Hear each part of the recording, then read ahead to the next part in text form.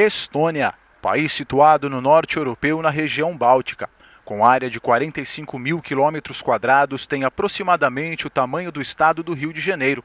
Esta república, com 1 milhão e 300 mil habitantes, teve na sua história recente domínio russo, fazendo parte da União Soviética, mas retomou sua independência em 1991. Será que os brasileiros sabem alguma coisa sobre a Estônia? Nós fomos perguntar. Já ouvi falar. Hum? Já ouvi falar da Estônia, uma ex-república soviética. Já ouvi falar, mas não conheço não. Estônia? Já, já ouvi falar. Fica ali no leste europeu. Fica pro lado lá da, da Rússia. Ah, ali pela Europa. Hum? Ah, eu sempre lembro do frio. Bastante frio. Eu imagino que seja um país que não seja rico, mas que tenha uma qualidade de vida bacana. Neve. O pessoal todo encapotado, com toquinha. Tipo do Canadá, geladão. Hum? Pessoas bonitas. A personalidade deles, que eles são mais frios, acho que até por conta desse frio. Bastante alterofilismo, wrestling.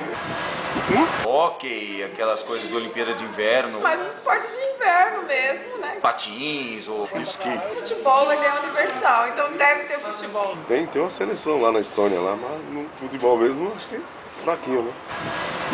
Bom, nas Olimpíadas de Inverno imagino que vocês fossem fortes em todos. Agora, Olimpíada de Verão. Talvez lutas, levantamento de peso? É quase isso. As principais glórias olímpicas estonianas foram conquistadas no levantamento de peso, wrestling e ski cross country, modalidade dos Jogos de Inverno.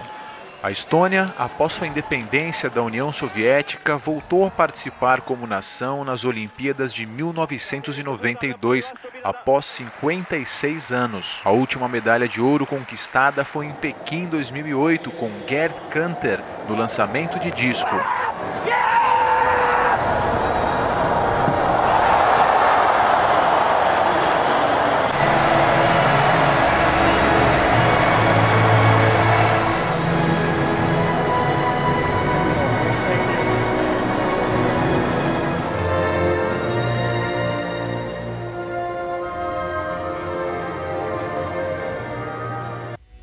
Segundo dados do Comitê Olímpico Estoniano, o esporte com maior número de praticantes entre amadores e profissionais é o futebol, seguido da natação. O país conta com o campeonato nacional chamado Meistre Liga, no qual 10 equipes compõem a primeira divisão e disputam o título de melhor clube estoniano.